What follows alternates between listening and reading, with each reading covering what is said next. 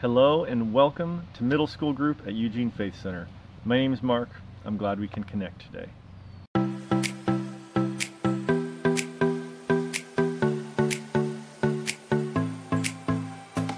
I hope you've all had a great week. I've been able to get out of my house with my kids and that has been fantastic. Another thing that's fantastic is whatever Gabby's got for us. Let's go check it out. Hey Kurt, what game do you want to play this week? I don't know. I thought you were going to do the game. What game do you want to do? Hmm, I don't know. What you want to do? I don't know. What do you want to do? Hmm, I don't know. What you want to do? I don't know. What do you want to do? Come to think of it, I got some ideas. Hi, y'all. Welcome to this week's game. It's all about learning lessons. Some people call it quick tricks or DIY. I just call it common sense. When spilling something in the fridge, oops, warm up a sponge, then wipe it down. When your sibling says, hey, toot head, want to make me some cookies? Always mix the dry ingredients before you put in the wet.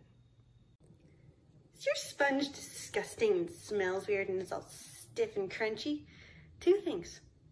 Put it in the microwave for 30 seconds and heat that bacteria right up till it dies.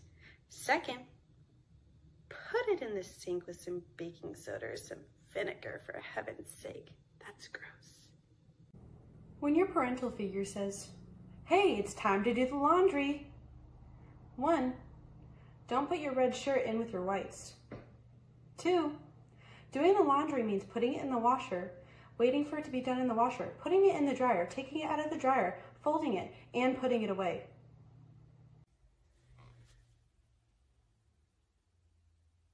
When you're making the bed and you think, gosh, it's the corner and I have all this loose fabric. What do I do? Just shove it in there? No, that's not the way the Lord teaches us. Here's how you do it. You bring it out. Tuck in with your hand. Fold down. Get that nice crease. Wow. Fold in this side. Then in this side. And you have a beautiful maid's tuck. Oh, Gabby, I can't wait till we can share a six foot away air high five. That was fantastic. Thank you so much.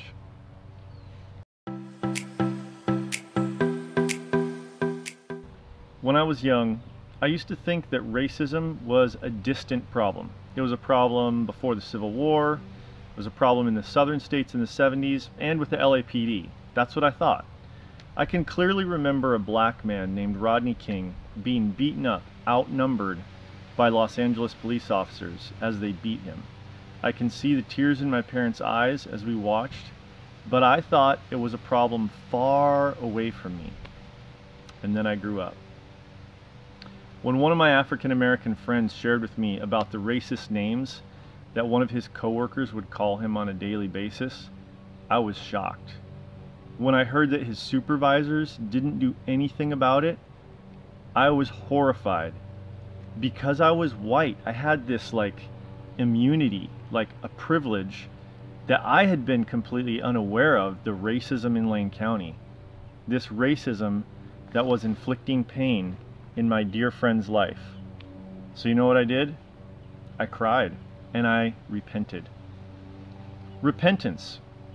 It means a decision to change, to change the way. I decided to change the way that I thought about life, specifically racism in the US of A.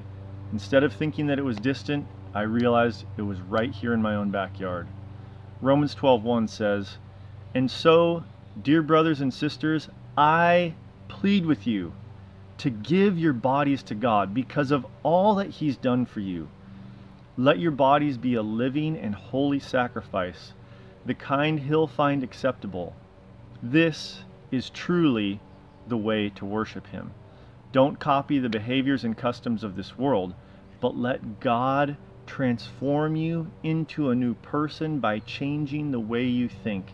And then you'll learn to know what God's will is for you, which is good, pleasing, and perfect. I want you to notice two things. First, God wants our bodies. Second, God wants our minds. nowadays in America, it's easy for us to think poorly about our bodies, to think, oh, I'm too this, too that. There's so many movies and pictures showing us what we should look like, but God wants our bodies. Why does God want all of our bodies, even the tall, skinny bodies? He wants my body, your body, our bodies to be a living sacrifice.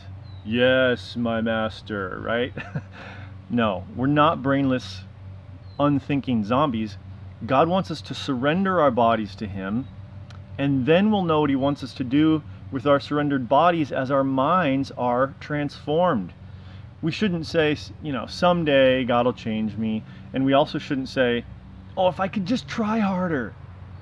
We're surrendering to God and working with Him in a process of lifelong transformation. God wants our bodies surrendered to Him, and God wants our minds transformed, changed. Why does God want transformed minds and surrenders surrendered bodies? A verse I keep thinking about this week is that God is near to the broken, to the brokenhearted. That's in Psalm 34. I love that verse, and I have experienced God's presence when I've been brokenhearted. But I've been thinking this week what if God had a body? What if God What if God had ears and he could literally be next to the brokenhearted, listening to them, hearing their shouts of grief?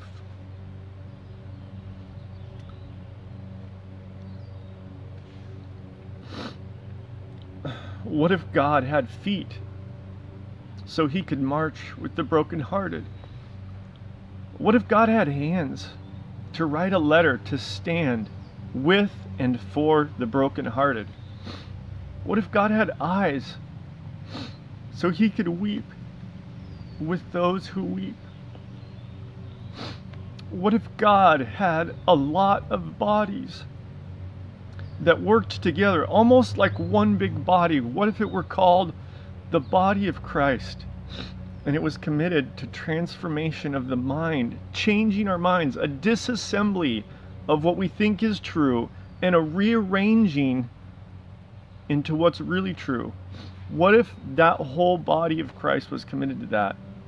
And what if they continually, every day they woke up, first thing in the morning, offered their bodies to God as living, surrendered bodies to do acts of love, to fight against the evils of racism, by overcoming it through patience, goodness, and love.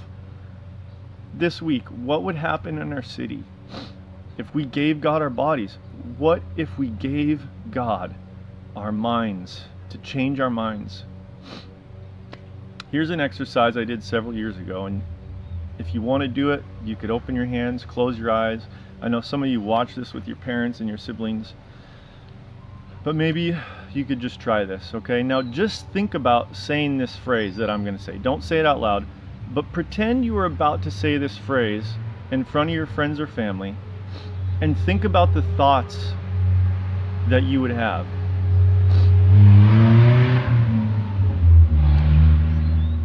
Black Lives Matter. What's going on in your mind? What's going on in the mind that God so desperately wants to transform?